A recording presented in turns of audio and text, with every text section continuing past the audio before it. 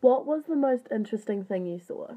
The most interesting thing I saw was when I looked through the microscope and saw the bugs up close.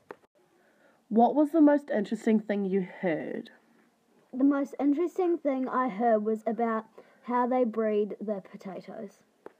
One thing you learnt about science at Plant and Food. How many different projects they have and do. One deeper question you have about pest control is Why are the smaller pests deadlier? One deeper question you have about potatoes.